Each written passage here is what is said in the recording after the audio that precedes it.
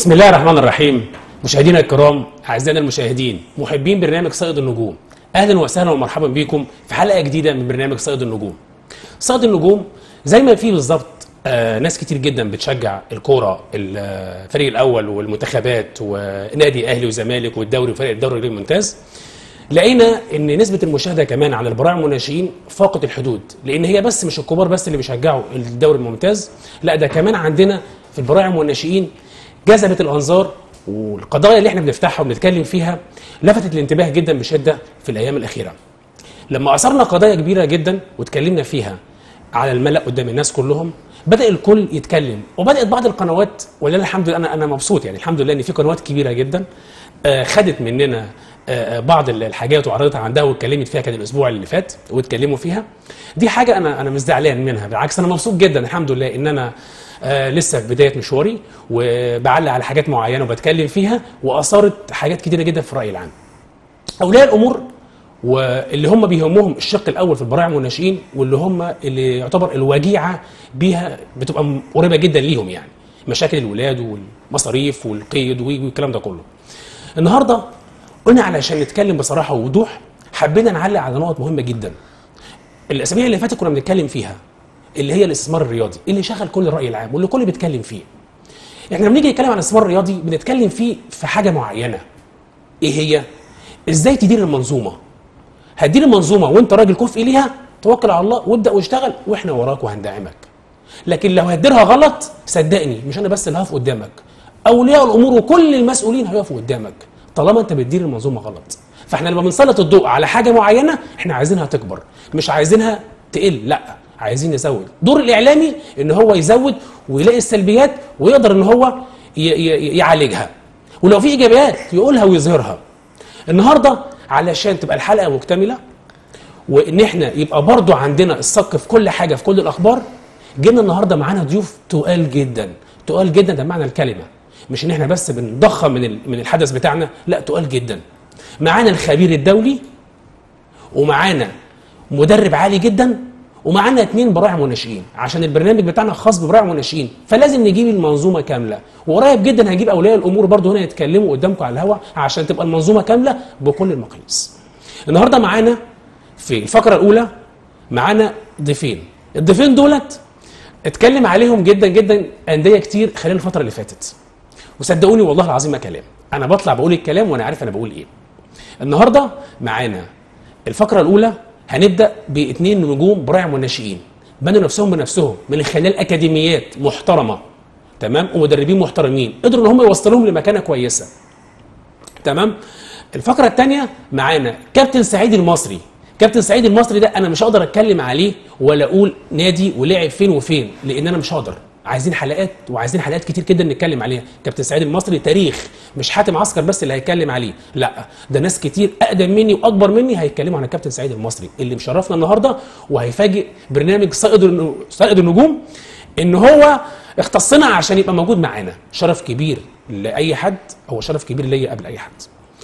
كابتن برضو معانا كابتن شريف جرجاوي. مدرب حراس المرمى اللي كان فترة كبيرة جدا في أم صلال القطري ومدرب نادي ترسانه موجود برضو معانا النهارده. هنرحب بالضيفين اللي موجود معانا النهارده. نجوم غزل السويس صنعوا في الأكاديميات وبقوا في الأندية. ودلوقتي في غزل السويس مشتركين في الدوري مكسرين الدنيا. معانا النجم محمد سعد نجم 2005 نادي غزل السويس. بنرحب بيك يا نجم. 2003 الحمد لله 2003 برحب بيك يا نجم. واللي يرد عليا أنا برحب بيك. الحمد لله أخي عامل إيه؟ لا لا ربنا يخليك. ها؟ لا علي صوتك. ومعانا النجم الثاني آه سعد. آه كابتن سيد سعد. ده الحريف. ده بقى اللي ما بيسكتش. نجم النجوم كابتن سيد سعد بنرحب بيك. الحمد لله يا كابتن. آه مبروك آه غزل السويس. الله يبارك فيك يا كابتن. عامل إيه؟ الحمد لله طيب هنبدأ معاك الكلام على ما أخوك يبدأ ياخد على الجو كده ويبدأ يلقط منك والدنيا تمشي. ماشي. تمام؟ قول لي يا سيد أنت طبعا بديت فترة كبيرة في الأكاديميات. أيوه بدأت صح فترة كده؟ كبيرة. آه قعدت قد إيه فترة كبيرة في الأكاديميات؟ وأول أكاديمية رحت فيها ومين اللي اكتشفك ومين اللي صنعك؟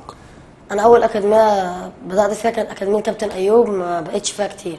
بعد كده أكاديمية كابتن إيميل ربنا يخليه يعني كابتن إيميل بقى لي معاه خمس سنين أو ست سنين. هو ده اللي علمني كورة ولحد دلوقتي بتدرب معاه.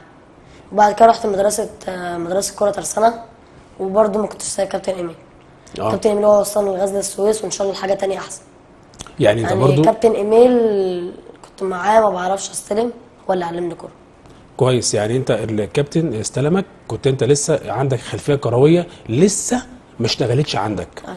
أو يعني أنت عندك الموهبه بس لسه في حاجات كتير عايز حد يكتشفها. فتم اكتشافها من خلال الأكاديمية. يعني كل ده بفضل ربنا سبحانه وتعالى الأول وبعد كده بفضل بابايا ومامتي جريوا ورايا كتير ما كانوش حارميني من حاجة. يعني مامتي ما كانتش عارفة عن الكورة عشان أنا عرفت كل حاجة. آه. عشان أنا وأخويا عرفت كل حاجة عننا عشان الكورة عشان عايزانا نبقى حاجة. وبابايا كان بيسيب شغله في أي أوقات ويجي معانا. يعني حتى السفر بيسافر معانا. يعني يعني يعني كان أنت عايز تقول إن إن والدتك ربنا يكرمها ويديها الصحة؟ ربنا يكرمك إن هي ما كانش عندها خلفيات أي كروية أو رياضية بس مجرد ما أنت كان في موهبة عندك وتم اكتشافها اهتمت بالموضوع. اهتمت. ربنا يخليها ليا. ربنا ربنا يخليها لك يا حبيبي وربنا و- يكرمك. والكابتن إيميل يعني بياخدني يعني لما بيلاقي حاجة بيسألني بيقول لي إيه اللي ناقصك؟ وكان بيشوفني في التمرين بيشوف إيه اللي ناقصني. مثلا ياخدني تمرين برايفت لوحدي أنا وأخويا في ملعب ويفضل بقى يمرنا بالساعات ما يشوف بقى إيه اللي ناقصني وعلمني كل حاجة. ربنا يخليها. طيب يا حبيبي طيب. آه آه نجم النجوم محمد. آه انت برضو كان نفس القصة كنت برضو بديت مع أخوك في نفس الأكاديمية ولا انت كنت في مكان تاني وبدأت ان انت تتعلم فيه؟ لا أنا حكايتي نفس حكايته بالظبط. اول ما ابتدينا ابتدينا مع كابتن في أكاديمية اسمها أكاديمية كابتن أيوب. آه. مع كابتن ده ما كملناش تمام. ما كملناش يعني بتاع شهر. مم. بعديها اتنقلنا رحنا لاكاديميه كابتن إيميل. مم. نفس الحكاية بالظبط اتعلمنا عنده كورة.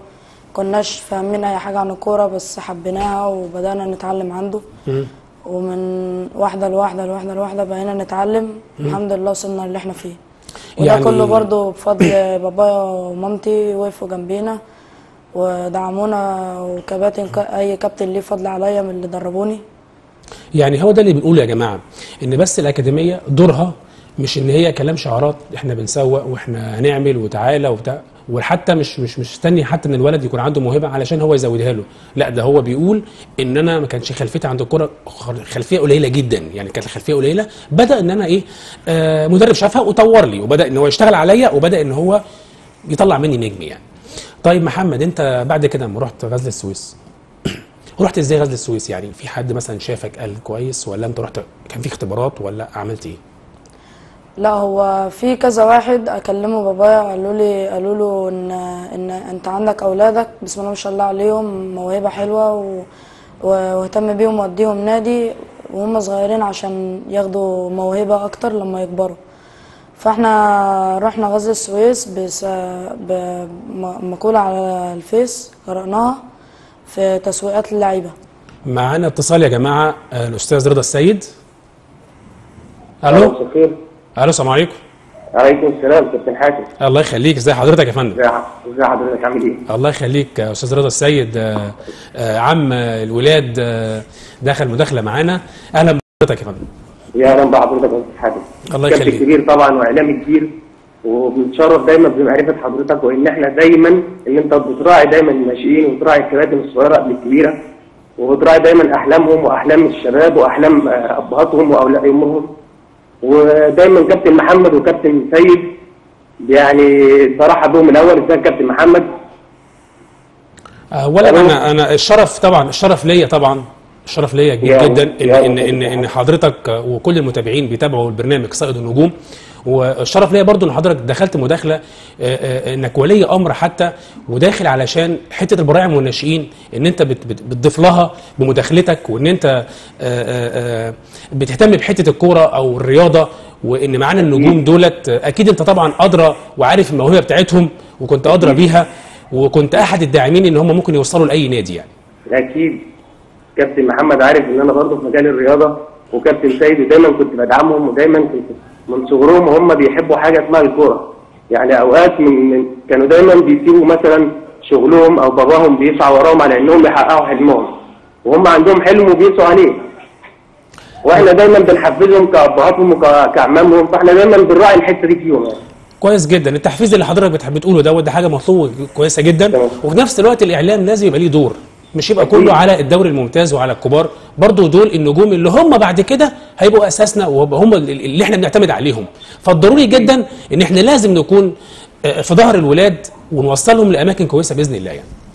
أكيد. وحضرتك والله فعلا من يعني من الكباتن الكبار اللي بنحترمها وبنراعي فيها وبنراعي دايما. إن حضرتك بتراعي دايما الناشئين والشباب الصغار اللي عندهم أحلام عندهم طموح ونفسهم يوصلوا ليها في ظل العصر اللي إحنا عايشين فيه إن مفيش حد بيسعى أو حتى ما يعني اللي بيسعوا وراه بيبقى مفيش أي حد بي- بي- بيمدلهم بايد العون إن حد يوصلهم للهدف بتاعهم أو لحلمهم أو إن هم يوصلوا لحاجة من اللي يعني إيه اللي نفسهم يوصلوا لها إن شاء الله بإذن الله. فالبرنامج بتاع حضرتك ده برنامج محترم جدا حضرتك معد واعلامي كبير جدا وكابتن كبير جدا وبنشكرك دايما على إن أنت بتدعم الشباب دي وإن أنت واقف ورا أجيال صغيرة قبل الأجيال الكبيرة وإن هم يبقوا يعني نجوم كبار وحلمهم يكبر فيهم.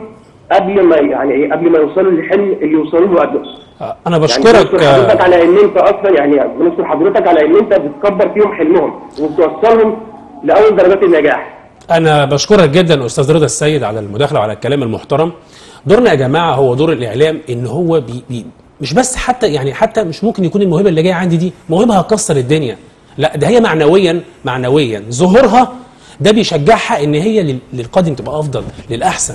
فهو دورنا كده إن إحنا لازم نشوف كل المواهب في كل مكان ونجيبها نظهرها للناس. آه كابتن سيد اما جيت بقى رحت غزل السويس جيت بديت غزل السويس المدربين اللي أنت شفتهم هناك واللي قدروا يمشوا معاك ويساعدوك كان مين اللي قابلك هناك واشتغل معاك؟ أول واحد آه، اكتشفني هناك ويعتبر هو اللي صيطني يعني كان كابتن اسمه كابتن محمود كابتن محمود حسنين. الكابتن ده كنت آه، الأول 2005 اللي هو مواليدي كانوا بيتمرنوا معاه. فاتمرنا وشافني إن أنا حلو. بعد كده بقى إيه كل لما كان كابتن يجي يستلمنا كان بيقول له عليا ودلوقتي ما فيش كابتن في غزل السويس ما يعرفنيش الحمد لله. يعني دلوقتي كله في غزل السويس الدنيا. شايفاك كويس والدنيا شغالة معاك كويس. كله هناك يعني برضه بيدعمني و... طيب لعبت. لعبت يا سيد أنت لعبت لعبت في الدوري ولا لسه؟ لا لعبت في الدوري. جبت جوان أنا جايب أربع تجوان وهداف الدوري. هداف الدوري. معانا هداف هداف الدوري. معانا هداف البطولة بتاع غزل السويس قاعد جنبينا. أنا بعد ما أخلص الحلقة هناخد معاه سيلفي بقى ونتصور بقى. طيب يا محمد أنت في حاجة حابب تقولها مثلا؟ يعني قبل ما نختم معاك اللقاء عشان نطلع للأذان في في حابب تقول حاجة؟ حابب أقول إن آه، ال- الحمد لله على المدربين اللي ساعدوني في في النادي بتاع غزل السويس. آه، كابتن آه، علي محمد. آه. آه، حاول إن هو يهتم بيا وكل لما أجي أنزل يعمل لي تقسيمه يعمل لي تمرين يقول لي شد حيلك وبيعلمني لما بتنقصني حاجة بيجي يقول بيحفزني. كويس. و- وكابتن رمضان وكابتن آه، أحمد علي. طب أنتوا أنتوا في غزل السويس سؤال ليكم أنتوا الاثنين يعني أنتوا في غزل السويس حاسين إن أنتوا جوه في نادي وتدريبات والدنيا كويسة ولا في حد مقصر معاكم؟ يا كابتن حاتم هو الصراحة فهو كابتن غزل نادي غزل السويس مش مقصر معانا في أي حاجة. كويس. وهي بداية حلوة لأن إحنا لسه أول مرة نلعب في نادي. كويس. بداية حلوة اللي إحنا بنشارك في دوري وحاجة كبيرة. وطموحاتنا بإذن الله أكبر من كده نلعب في دوري ممتاز. أنت مين أنت عايز. تطلع زي مين يا سيد في اللعيبة؟ والله العظيم يعني في مركزي half شمال أو صانع ألعاب. آه. لو صانع ألعاب عبد الله السعيد. آه. half شمال زي رمضان. رمضان. انت عارف؟ أنا أنا متأكد. أنا مت... أنا متأكد إن أنت هيبقى ليك مستقبل جامد. ربنا لا يخليك. ما شاء الله عليك يعني ما شاء الله. لو في كورة دلوقتي كنت قمت خربت الدنيا. طب أنا هسالكم برضه سؤال أنتوا الاثنين مش مش هقول لحد فيكم سؤال أنتوا الاثنين بصراحة دور باباكوا معاكوا إيه؟ دوره معاكوا إيه؟ لولا ما كناش بيتعب. بيتعب كتير قوي علشاننا وزي ما أخويا برضو قال إن هو بيسيب شغله علشاننا و... وتعب وصارف مصاريف كتير بسبب سفر نروح هنا ونيجي من هنا. وهو يعتبر هو نص الحمل عليه ويمكن أكتر طب أنتوا في, في, في برضه نفس كلامك انت بتقول كلام لا هو إحنا بابانا معانا لو كنا بابايا مش معايا ما كناش ولا حاجة أصلا. كانش زمان وصلت هنا ولا لعبت في نادي كنت مقضي أكاديميات وريتها كانت حصلت أكاديميات أصلا يعني ربنا يخليني يعني.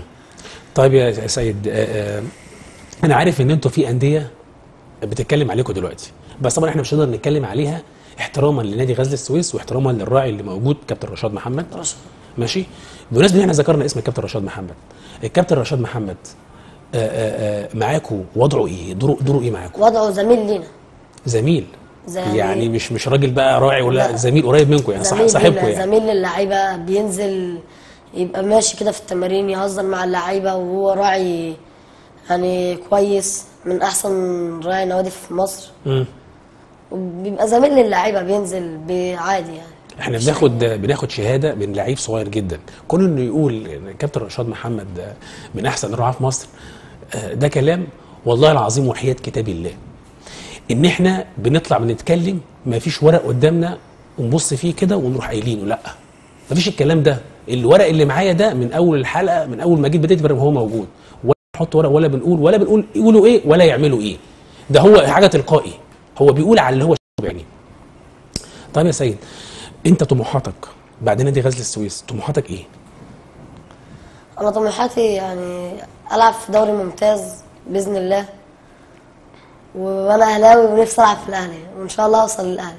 حاطط هدفك قدامك انك هتوصل للاهلي. يعني أنا حاطط هدف اللي أنا دلوقتي هروح نادي احسن من غزل السويس يعني عايز أروح نادي أحسن من غزل السويس. ألعب فيه أي درجة بقى أعلى. وبعد كده بإذن الله دوري ممتاز. وأروح ألعب في الأهلي بقى بإذن طيب أنتوا لما بتروحوا تلعبوا الدوري بتاعكم في المطوشه في مشاكل بتقابلكم؟ في بتشوفوا مثلا أجسام كبيرة أجسام صغيرة؟ أنت بتلعب في, في بتلاقي دي حاجة كنت عايز كتير قوي. بتحصل يا كابتن. كنت عايز أقولها لأن في بتبقى بنلاعب ناس بنلاقي منزل ناس مدا- مدافعين حراس أجسامهم كبيرة. بيقول لك دول 2005 أجسامهم كده. هو المفروض يبص للعضلة العضلة مش 2005 تمام. أدي أدي أدي المواهب الصغيرة اللي بتتكلم على موضوع الشكل وبتاع. يا ريت يا ريت المسؤولين الكبار يبقوا عارفين الكلام ده يا جماعة.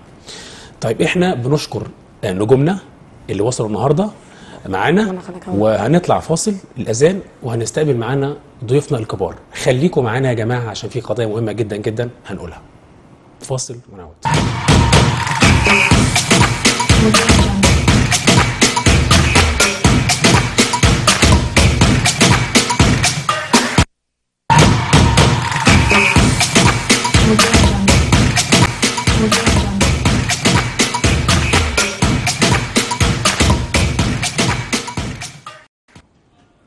أعزائنا المشاهدين رجعنا لحضراتكم تاني الفقرة الثانية من برنامجنا. معانا أساطير كرة القدم براعم والناشئين في مصر. نجوم أول مرة يجوا حلقتنا ولكن هم موجودين في الإعلام في الميديا في الملاعب في كل مكان عشان آه، يدعموا ولادنا علشان يحفظوا ولادنا علشان يوصلوا ولادنا للطريق الصح. ناس بتشتغل علمي وبتشتغل عملي مهتم بحاجتين العلمي والعملي. معانا نموذج كبير جدا جدا جدا في الرياضة المصرية.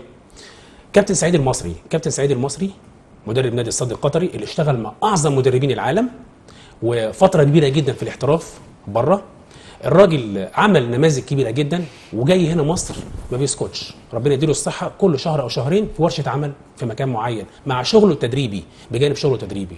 بنرحب بالنجم المصري المحترم كابتن سعيد المصري. أهلا بحضرتك يا فندم. أهلا بيك كابتن حاتم عسكر واهلا بقناة مصر البلد وفريق عمل المحترم.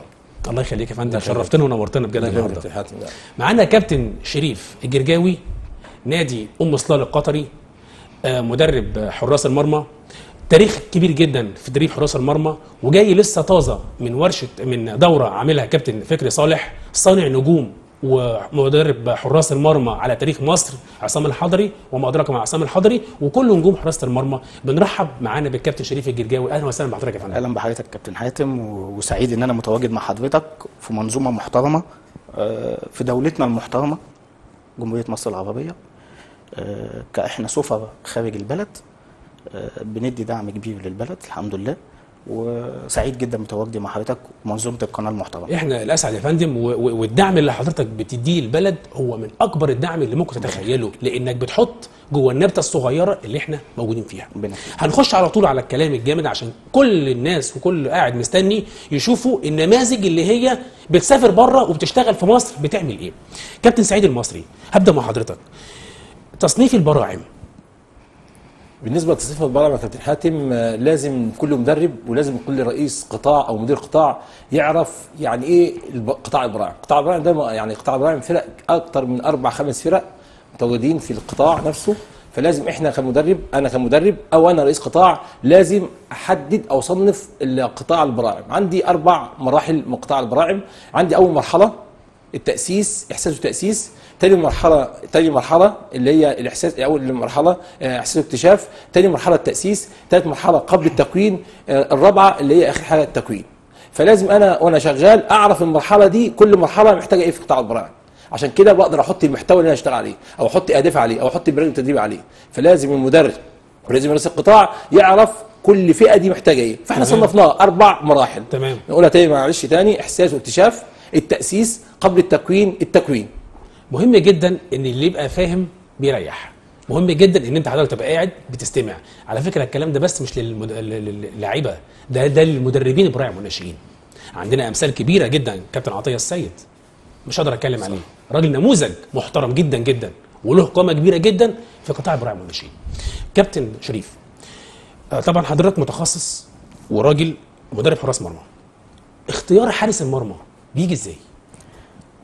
إحنا حضرتك اختيار حارس المرمى أول حاجة الموهبة. تمام. لازم يبقى عنده الموهبة في حراسة المرمى.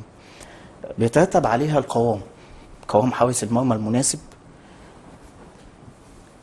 بناء عليه بشتغل معاه بقى من العناصر اللياقة البدنية في الجزء التعليمي للمهارة الرشاقه والمرونة كوردينيشن النهارده حارس المرمى بيتعلم شغل مختلف عن زمان. النهارده بقى في تطوير لحراسة بس المرمى حراسة كبير. المرمى برضه يا كابتن ما أعتقدش يعني إن هي بتبقى موهبة زي اللي في الملعب ولا يعني جوه الساحة. بالعكس. أعتقد إن ده بيبقى صناعة أكبر منها. بالعكس يا كابتن حارس المرمى موهوب بيريحك أنت في الشغل كمدرب بيريح في الشغل لكن بالظبط. لما تصنع حارس مرمى الإمكانية إنك تصنع.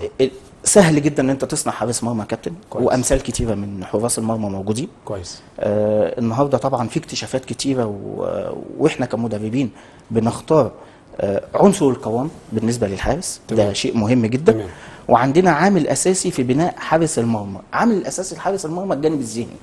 تمام. الجانب الذهني لحارس المرمى ده مهم جدا. لأن أنا بتعامل معاه كشغل ال coordination توافق. توافق. التوافق ده مهم جدا. النهارده حارس المرمى بيبني هجمة آه، خط الظهر من ورا. فبالتالي لازم أن أنا أشتغل أطور معاه الشغل الملعب. كأنه زي لعيب الكورة. بيلعب برجليه. فسهل جدا. ما بقاش خلاص shooting على الجون. الموضوع ده كان زمان تمام. دلوقتي في التطوير. تمام. تطوير حارس المرمى زي ما قلت لحضرتك. تمام. آه شغل بالقدم لعب بالقدم زيه زي لعيب الكورة. بالظبط تمام. طب كابتن كابتن آه، سعيد هو اتكلم على جزء معين جدا اللاعب الموهوب. اللاعب الموهوب من رأي حضرتك اللاعب الموهوب ده تكتشفه إزاي؟ بالنسبة للاعب الموهوب لازم إن إحنا نصنف اللعيبه الأول. تصنيف اللعيبة بيتم برضه ثلاث مراحل. تمام. إحنا عشان نشتغل في قطاع البراعم ده لازم الكل تشتغل كل حاجة بالظبط. يعني لازم تجيب اصلها فين تمام. عشان اشتغل مع اللاعب ده وأعرفه هو موهوب إزاي بصنفه من الأول طبعا بصنف اللعيب. أول لعيب بيبقى إيه؟ أول مرحلة من أول تصنيف اللاعب ثلاث مرا... ثلاث تصنيفات يعني. أول لاعب بيت... يعني أول صفة في اللاعب اللاعب اللي هو المصنوع. تمام. تاني حاجة اللاعب التكتيكي. الثالث اللاعب الموهوب تمام. اللاعب الموهوب ده هو ربنا اختصه بالموهبة دي. على فكرة كل مهنة ليها موهوبين بتاعتها. يعني. كل مهنة فيها موهوبين بتاعتها. تمام. كرة القدم دي فيها موهوبين. على فكرة المهنة الموهبة آه، دي ربنا خلقها فيك. فإذا الموهبة دي يعني أنت بتقدر تنميها وتطورها. عكس السرعة. السرعة بتنميها بس. تمام. فالموهبة بتطورها الموهبة بتطورها. تمام. فاللاعب موهوب على فكرة يبقى هو عنده من داخله كده عاوز إيه؟ يعني إيه؟ يعني يدلع نفسه. عاوز يمتع نفسه. تمام. فاللاعب موهوب كده. هو دي بالفطرة كده اللعيب الموهوب ده. إحنا بنطورها. زي ابو تريكة وزي ميسي وكريستيانو ومحمد صلاح دي لعيبة موهوبين. على فكرة كمان انت كانت في نقطة كويسة قوي. مش كل خطوط الملعب وكل مراكز الملعب فيها لاعبين فيها لاعبين موهوبين. طب إزاي؟ طب الاثنين ارتكاز الاثنين ال defender دول في موهوبين آه موهوبين. عندهم استخلاص الكورة عندهم موهبة. طب رأ- راس حربة عنده ضرب كوره بالرأس موهبة. استخلاص الكوره موهبة. عند defender عنده مهارة عنده مهارة مكتسبة. ده الموضوع كبير، الموضوع ف- كبير. ف- فكل لاعب في المراكز مش مش مقتصره خالص على على أبو تريكة بس وعلى ميسي بس بالعكس خالص. كل مركز في مراكز الملعب في لعيبه في لعيبة فيها موهوبين يعني د- ال- مثلا ال back. ال back ده لازم عنده موهبة. الموهبة هنا إيه؟ الموهبه الموهبة عند اللاعب عند اللاعب كل مركز في كل في كل آه، مراكز الملعب يعني كل مراكز الملعب فيها لعيبة موهوبين فيها. تمام يا coach تمام يا coach. طب هو كابتن كابتن سعيد دخل في المهارات ودخل في ال- المهارات بقى بالنسبة لحارس المرمى. هنا حضرتك يا كابتن حاتم إحنا بنعلم حارس المرمى على حسب المراحل العمرية تناسب لحارس المرمى. البراعم غير الناشئين غير الفريق الأول. آه، حراس مرمى البراعم النهارده حضرتك تعليم تعليم بات المهارة الأساسية لحراسة المرمى. كرة المواجهة أول حاجة الاستلامات بالقدم. ده شيء مهم جدا. حضرتك عارف الفترة الأخيرة حراس مرمى كتير بيخطئوا قوي باللعب بالقدمين يعني. بالظبط بالظبط. فإحنا النهارده بنشتغل أو تطور طبعا كابتن فكري صالح ودي منظومة الحمد لله أنا جديدة عرفت جدا. ان حضرتك حضرت دورة مع كابتن فكري إحنا صالح هنحضر دورة. وفي دورة كمان شغالة اليومين دول. آه، إحنا هنحضر دورة مع الكابتن فكري صالح يوم الأحد القادم إن شاء الله في بورسعيد. تمام. آه، بتبدأ من يوم 28 و29 و30 تمام. دي طبعا آه، كابتن فكري صالح غني عن التعريف. طب مدربين حراس المرمى يا كابتن ال- ال- اللي حضرتك قلت الشغل بالقدم هو الشغل بالقدم دوت آه، برضه تدريب ليه الأخطاء منها بيبقى كتير جدا. ما هو طبعا يا كابتن ما هو إحنا علشان ده ما اتعلمش من الصغر. إحنا بنيجي هنا بقى إيه؟ في آه. الجزء الرئيسي آه. أو الأساس. لازم الأساس من تحت يا كابتن. تمام. حارس المرمى لازم يشتغل من تحت. تمام. تعليم حراسة المرمى يا كابتن بالقدم من تحت من البراعم. زيه زي لعيب الكورة. النهارده حارس المرمى مش تراي مش يطلع يمسك أوفر. النهارده حارس المرمى ومش جسم بس برضه. كابتن هو أنا هقول لحضرتك حاجة. آه، إحنا كمدربين حراس المرمى عامل القوام مهم. وبرضك اللي اللي اللي الحاجات اللي هي تقدر تشتغل معاها كحارس مرمى ممكن يكون قصير. كابتن حسين السيد آه. كابتن مصطفى كمال حراس مرمى عظماء وليهم تاريخ وليهم باع كبير. تمام. مش طوال زي الكابتن أحمد شوبير. آه آه مش الجسم كابتن آه. آه آه ولكن في لكن مهارات. لكن في مهارة. بالظبط. فالنهاردة يا كابتن حتة اللعب بالقدمين مهم جدا. المهارات يا كابتن سعيد المهارات الأساسية. الأساسية بنعتمد عليها البراعم والناشئين المهارات الأساسية إحنا عارفينها كلنا عارفين المهارات الأساسية سبع سبع مهارات. آه. لكن فضل عند ربنا دخلنا مهارة التامنه ومفيش حد يختلف عليها. مم. المهارات سبع مهارات زي مكتوبين إحنا الحمد لله دخلنا الثامنه هنقول السبعة الجري بالكرة بالترتيب على فكرة. تمام. وبنشتغل برضو مع مع أما تشتغل برضو مع, مع اللعيب برضو بالترتيب مع فرقتك بالترتيب. تمام. أول مهارة الجري بالكرة مم. التمرير التصويب السيطرة ضرب الكرة بالرأس رمي التماس المراوغة. دخلنا المهارة اللي هي التامنه والحمد لله فضل عند ربنا هي الامتصاص. السيطرة محتاجة امتصاص الأول. يعني استحاله النهارده أتعامل مع السيطرة بدون امتصاص.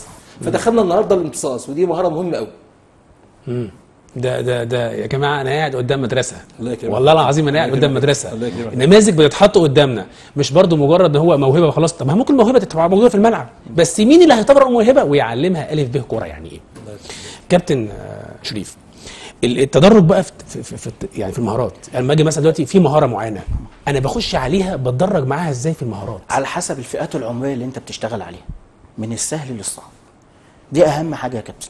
تمام. يعني أنا النهارده حضرتك أنا عندي حارس مرمى جاي جديد.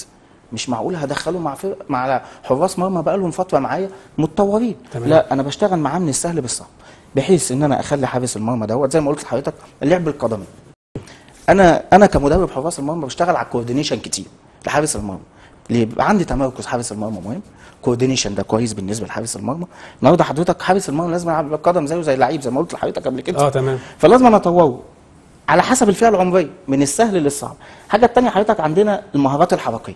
المهارات الحركية والتوافق والتوازن ده مهم جدا لحارس المرمى.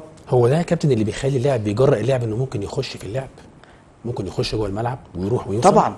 النهارده حضرتك آه، بتشوف آه، آه، حراس مرمى العالم بيلعبوا بالقدم. النهارده حضرتك قلت لحضرتك حارس المرمى مش لازم إن هو يطلع يمسك الأوفر يبقى هو لا النهارده اللعب بالقدمين ده مهم جدا. وهو ده العامل الأساسي يا كابتن في الشغل كله لحراسه أنتوا. بتطوروا يا كابتن في في الجزئيه دي بالذات؟ طبعا لازم نطور بتطور الجزء في- طبعا. دي بالذات؟ طبعا هو ده اللي, اللي إحنا بنشتغل عليه الفترة الجاية إن شاء الله. ال- اللي بناخد برضو من الكابتن شريف كلمة اللي هو الأداء التكتيكي اللي الحركي أهميته للبراعم هو الأداء التكنيكي الحركي؟ آه تكنيكي. آه، أكيد هي مرحلة مهمة قوي قبل أداء أي مهارة. يعني النهارده مثلا عندي مهارة التمرير. آه. ودي مهارة. عاوزين نفصل بس من من المراوغة والمهارة. المهارات الأساسية اللي هم الثمان مهارات اللي إحنا اتكلمنا فيهم. أما النهارده عشان أتكلم عن أداء التكنيك الحركي أداء التكنيك الحركي قبل يعني هي عملية تتم قبل تنفيذ أداء المهارة أو الهدف. اللي بتشتغل عليه. يعني النهارده مثلا عندي التمرير. في قبل ما شت... قبل ما امرر قبل ما اعمل قبل قبل ما انفذ الحركة نفسها في عملية قبلها بتتم اللي هي عملية إيه؟ الأداء التكنيكي الحركي. لو الاداء التكنيكي الحركي وأنا بعمل التمرير بتاعي بعمل التمرير والأداء بتاعي غلط الكرة تطلع الباص تطلع غلط. لو الوضع بتاعي الصحيح الأداء التكنيكي أنت آه. حتى بعينك هتشوفه أنت بعينك تقول اللاعب ده والله ده بص بيجري بالكرة إزاي؟ عنده تحكم مسيطر على عنده تحكم مسيطر عالي عالي قوي على الكورة. أو بيمرر بدقة عالية قوي طب اللعيب بيجي- بيمرر بدقة عالية قوي ليه؟ إن هو عنده أداء حركي تكنيكي عالي قوي كويس. فإحنا لازم نظبط الحتة دي مهم قوي النهارده اللي بيظبط الحتة دي إيه التوافق. مثال مثلا إذا ناخد مثلا أهداف من التوافق. التوافق ده على فكرة أنا لازم أتكلم في نقطة مهمة قوي. إن العنوان غير الهدف. عنوانك انت إيه النهارده أنا مثلا في قناه قناة مثل البلد. آه. لا عنوانك كده ناقص. أنا النهارده في برنامج صائد النجوم مع مين؟ مع كابتن حاتم عسكر. يبقى النهارده بقول النهارده التوافق لازم أختص بايه هشتغل الهدف بتاعي إيه؟ اللي هو مثلا إيه توازن الارتكاز عندي التمرير. عندي التمرين إيه؟ مكتوب عنوان تمرين هشتغل في التمرين النهارده. فأنا لما اشتغل في التمرين إيه؟ التمرين القصير الطويل النصف عالي العالي. كل لازم أنا لازم أحدده. النهارده مثلا المشرف القطاع النهارده مديني مثلا برنامج. فقال لي النهارده عندك العنوان الرئيسي عندك مثلا الجري بالكورة. طب أنا مش خ... أنا عندي أكلت جري بالكورة واشتغلت بس ما حدش الهدف أنا شغال غلط. قال لك النهارده المراوغه إحنا عندنا أربع مهارات أربع مهارات من المراوغه أربع حركات من المراوغه عندنا مثلا زي سيزر اما يقول لك مراوغه ده عنوان رئيسي. تحدد الهدف عشان تعرف تبقى شغال كويس عشان تعرف تطور اللعيب. فالأداء التكنيكي الحركي عملية بتتم قبل تنفيذ الحركة نفسها والهدف نفسه أو المره نفسها. تمام. اتفضل. أنا مش مش عايز الحوار يخلص. كابتن سعيد بيتكلم كلام جامد أنا مش عايز الكلام يخلص. ببص له قاعد استمع. أنا فرحان بيه بصراحة. كابتن شريف آه، لما بيجي لعيب عندك حارس المرمى طبعا أخطاء الحراس كتيرة.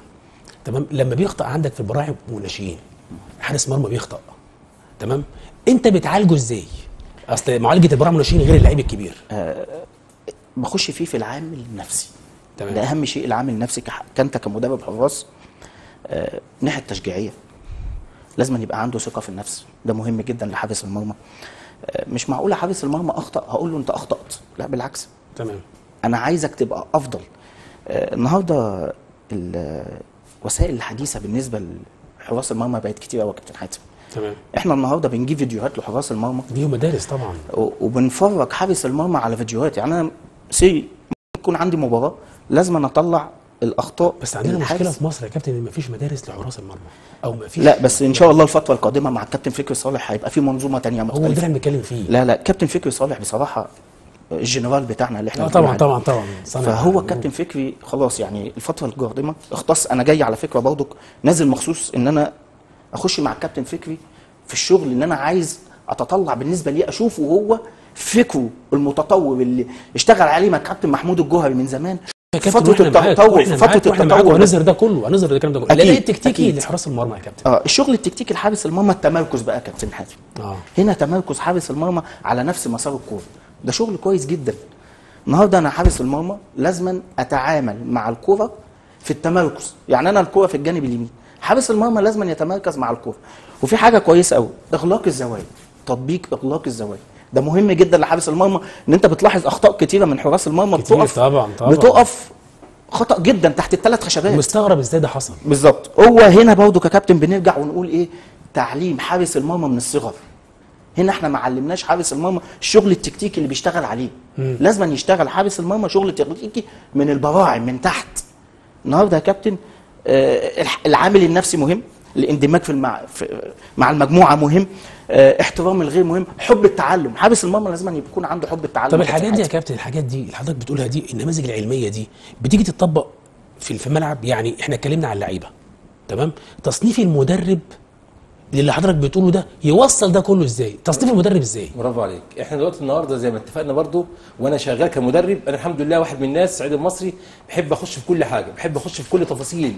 يعني النهارده المدرب أنا عامة أنا بحب المدرب بحب أجي مع المدرب حتى لو أنا ماسك منصب ولا حاجة أو مثلا رئيس قطاع ولا حاجة بحب بحب أنا أوصل للمدرب. آه. فأنا لازم أصنف المدرب. النهارده أنا عاوز أقيم كابتن حاتم النهارده عاوز أقيم كابتن شريف النهارده أقيمه إزاي؟ لازم أصنفه الأول. آه. درجته عندي إيه؟ درجته عندي كام؟ فانا بنصنف المدرب إلى ثلاث برضه اصناف. واحد ان هو مبتدئ. تمام. طبيعي خالص. أنا داخل النهارده في دخل النهارده لسه في, لسه في في يعني في تدريب فانا لازم لازم اعدي على المرحلة دي. مبتدئ. وأنا واحد كنت مبتدئ. المرحلة الثانية مدرب جيد. هنحللها بتفاصيلها كلها. المرحلة الأخيرة إن هو المدرب المبدع.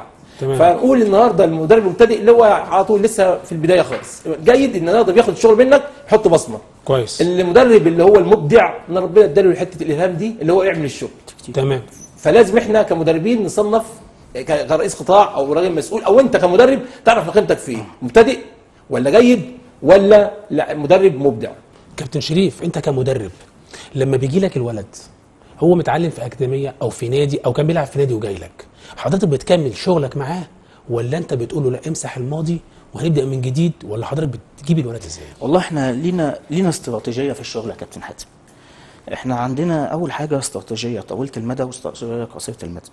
طبعا أنا بشتغل على استراتيجية طويلة المدى بالنسبة لحارس المرمى الاكتشاف.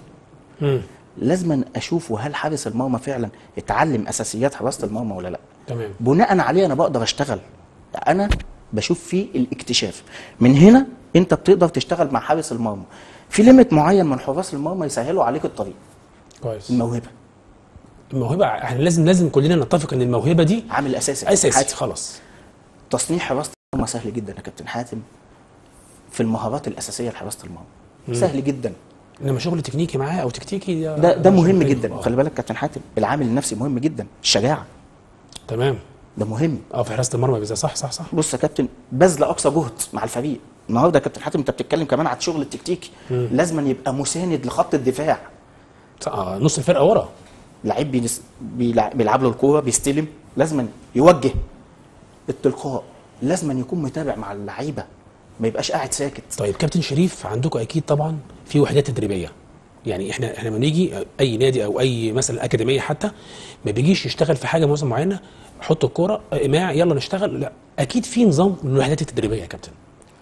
الوحده التدريبية بالنسبة لل- للقطاع البراعم بتمر بمراحل. آه. في نوع من التطوير في الوحدة نفسها. آه. لما تيجي تشتغل الوحدة التدريبية بتاعتك بتطورها. الوحدة دي عامة يعني حاجة الوحدة دي يعني نتكلم عن الوحده عامة في التطوير بتاعها. بتطور عندك في في المساحة في الزمن في المهارة في التحرك آه. الأربعة دول لازم تشتغل فيهم لازم تمر بيهم الوحده التدريبيه عامة تمام أما هنيجي عامة في التمرين نفسه في أيوة. هدفك نفسه أيوة. بيمر أول حاجة بمرحلة التعليم بتعلم في آه. البداية خالص بتعلم كويس. بعد كده في آلية عندك تمام. بعد آلية بتيجي إيه بعد لا أول حاجة أول حاجة بتمر بمراحل التعليم بعد كده التكرار بعد كده الآلية بعد كده الإتقان توصل لسرعة في الاداء في أثناء المباراة. لازم تمر بالأربعة دولت. تمام. التاني على السريع يعني. معلش يعني. أول مرحلة بتمر بمرحله التعليم. تمام. التكرار الآلية الإتقان بعد كده السرعة في الأداء أو السرعة في التنفيذ. بتتم في أثناء المباراة. آه. فأنت لازم وأنت شغال تعرف الوحدة التدريبية بتمر معاك إزاي. لازم تطور في الوحدة عامة كلها عامة تمام. في الزمن في الوقت في, ال- في الزمن في المساحة. عندك تطور في المهارة نفسها في هدفك. الهدف اللي أنت عاوز تشتغل فيه تطور فيه. تمام تمام. وتفصل بين تطوير الوحدة نفسها وتفصل بين تطوير الهدف نفسه. طيب كابتن شريف الوحدات التدريبية لحراس المرمى حضرتك بتحط نموذج معين تشتغل عليه لغاية ما تحس إن الحارس خلاص اكتسبه بتكمل بعد كده ولا أنت بت... ال- الوحدة معاك بتمشي إزاي؟ آه كابتن أنا عندي طبعا آه في فوق فردية بالنسبة لحراس المرمى البواعم غير الناشئين زي ما قلت آه لحضرتك طبعا آه آه يعني مثلا بالمرا... في البواعم أنا ما ينفعش في الوحدة التدريبية أدي ثلاث أربع مهارات لحارس المرمى مش هيبقى عنده سرعة استجابة تمام أنا عشان أبقى أخلي حارس المرمى عنده سرعة استجابة في تعليم المهارة. على الأقل يعني ماكسيمم ادي له مهارتين. مهارتين في الوحدة التدريبية. عشان أقدر أعلمه. الولد الصغير بيستوعب بسرعة. تمام. وسهل جدا إن هو بس أنا ما بحطش عليه تراكمات بالنسبة للعنصر تعليم المهارة. أربع عناصر كتير على حارس هو الولد بيبقى مستعجل. ما هو ما هي دي بقى المشكلة. آه. أنا كمدرب دوري فين؟ تمام. لازم أقنع حارس المرمى بدوري كمدرب إن في مهارتين لازم يتعلمهم. أنا ممكن مع أقعد مع حارس المرمى إن هو بيتعلم لسه أقعد معاه شهر في تمام. تعليم المهارة. تمام. أساسيات حراسة المرمى مهمة يا كابتن حاتم. تمام. لازم نشتغل عليها. ما نشتغلش إن إحنا آه، يلا النهارده خلصنا مهارة الاستلام يلا بكرة نخلص مهارة الارتماء يلا بعده الكرات العرضية يلا بعده الارتماءات. لا يا كابتن حاتم النهارده تمام. الشغل اختلف تماما. تمام تمام شغل تمام. مختلف. أساليب حديثة. استراتيجية آه، آه، أساليب حديثة. آه، استراتيجية مختلفة. كويس وضع جدا. اختلف كتير عن الأول يعني. طب كابتن كابتن سعيد لما بيجي إحنا إحنا اتكلمنا دلوقتي في الوحدات التدريبية ال- واتكلمنا في التطوير. صح كده؟ طب لما نيجي حضرتك قامة كبيرة زي حضرتك موجودة في مكان. كابتن شريف موجود في نفس المكان. فريق العمل اللي بيبقى موجود انت بتختار فريق العمل ده إزاي؟ أو هو فريق العمل اللي المنظومة دي بيبقى عبارة عن إيه؟ وطبعا فريق العمل ده مرتبط يعني يعني مرتبط بيا قوي آه يعني بختار مثلا اللي هو زين محاضر معايا إنه قريب مني. فكره مدرستي أنا قريبة من مدرسته هو. هو حابب وهو عنده حتة الإيه يعني إيه عاوز ينتج يعني.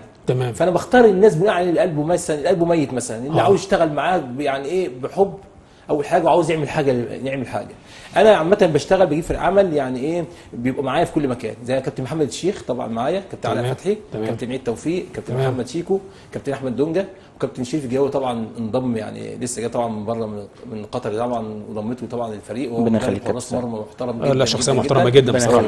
بس عايزين نتكلم في نقطة مهمة قوي اتفضل. إن الربط حاول يعني هنتكلم في المهاره معلش نرجع للمهارة شوية اتفضل. عاوزين نربط المهارة والمهارة إزاي تربط المهارة والمهارة لازم النهارده عشان اربط المهارة لازم احضرها من بدري. يعني النهارده مثلا الأسبوع الجاي الأسبوع الجاي عندي في البرنامج التدريبي بتاعي عندي مثلا مثلا السيطرة. فمش هينفع النهارده ما كنتش ما كنتش عندي إتقان بالجري بالكرة والتمرير والتصوير لازم عشان أمر آجي أوصل للمح... أوصل للسيطرة لازم أنا يبقى عندي إتقان بالمهارة دي. فمش عاوز أربط مهارة بمهارة وأشتغل خلاص في نقطة كويس في نقطة شك- شفتها يعني أنا نظري سيئة قوي يعني. إن في بعض المدربين بيشتغلوا مع أولاد صغيرين.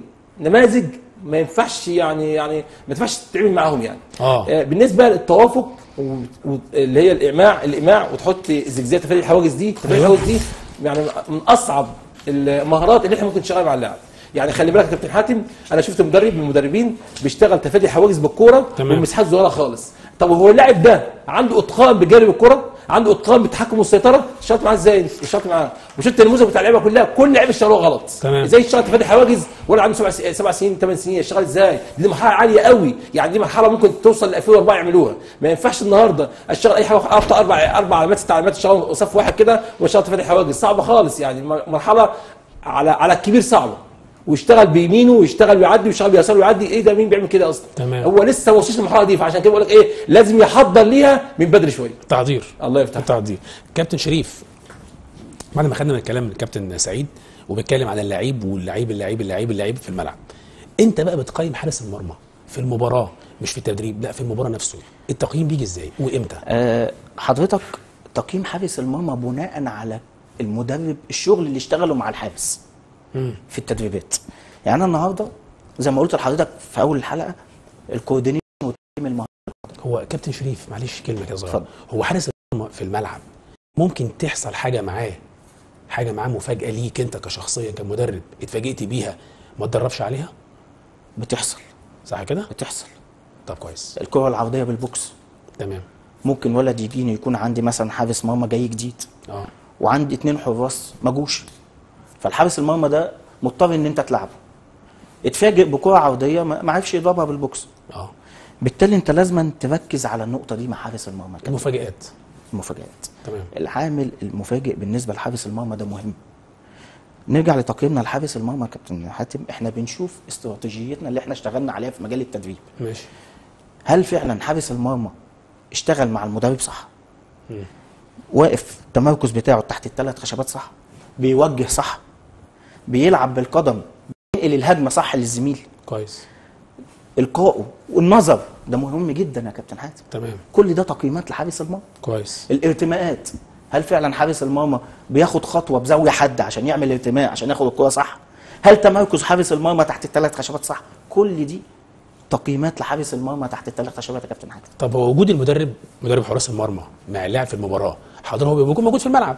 حضرتك بتبقى موجود بره على الخط. وجودك معاه إشارات ولا وجودك معاه تحفيز ليه ولا وجودك معاه إيه؟ أول حاجة وجودي معاك كحارس المرمى أديله ثقة إن أنت ما تقلقش. معاك الكوتش بتاعك بره. حتى لو أخطأت أنا أشيله كمدرب حراس مرمى. بس أنا كنت عايز أختم بالكلمة اللي قالها كابتن شريف. كابتن سعيد آه الوقت بتاعنا. بس الأول. اتفضل. طب اتفضل آه، سريعا. مصر بلدنا دي هي دي بلدنا وهي قد الدنيا هتفضل قد الدنيا وهتفضل أم الدنيا. إحنا جينا البلد دي علشان إحنا بينا ومن غيرنا هي قد الدنيا.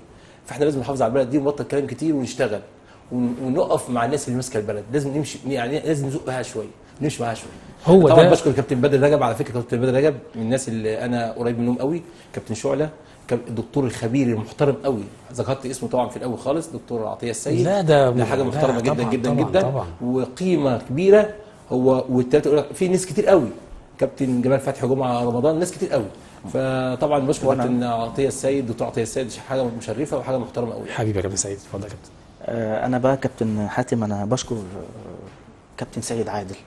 ماشي أحد عظماء وتدريب حراس المرمى في نادي المسلول وكابتن جمال دسوقي نادي مصر التأمين اللي اسندوا لي المهمة قبل ما أسافر قطر في نادي مصر التأمين وكل الباعي المتواجدين على المنظومة بتاعت نادي مصر التأمين بشكرهم. بشكر الكابتن جمال دسوقي كابتن سيد عادل. وبشكر حضرتك. بشكر كابتن. الكابتن سعيد المصري. اللي هو اللي خلاني أكون متواجد مع حضرتك وخلاني أكون متواجد في دولة قطر أول سنة ليا للسفر بسبب الكابتن سعيد المصري. أنا آه، أنا اللي بشكر آه، السادة المشاهدين على الوقت اللي اللي إحنا اتكلمنا فيه وجبنا معانا نماذج كبيرة جدا جدا في عالم الرياضة. اتكلموا النهارده بتطبيق علمي وعملي في الملعب. هو ده أنا كنت بكلمه. عشان لما كنت بتكلم في الاستثمار الرياضي كان يهمني جدا إن أي مستثمر يبقى عنده فكر. حتى لو المستثمر ما عندوش فكر يجيب النماذج اللي هي بتشتغل والنماذج اللي هي هترفعه مش هتوقعه. حتى لو النماذج دي بتاخد مرتبات إيه. هو ده اللي بتكلم فيه يا جماعة. البراعم والناشئين مسؤولية. هي مسؤولية المدرب اللي بيبقى ولي أمر ومدرب وفي نفس الوقت مسؤول. هي فريق عمل. فريق عمل اللي اتكلم عليه الكابتن سعيد والكابتن شريف. أنا بشكر جدا جدا. الضيوف اللي حضرت النهارده البراعم الصغيرة والنماذج الكبيرة اللي شرفتنا بره وشرفها مصر هنا وبتشتغل بقلب زي ما كابتن سعيد المصري قال قلب ميت.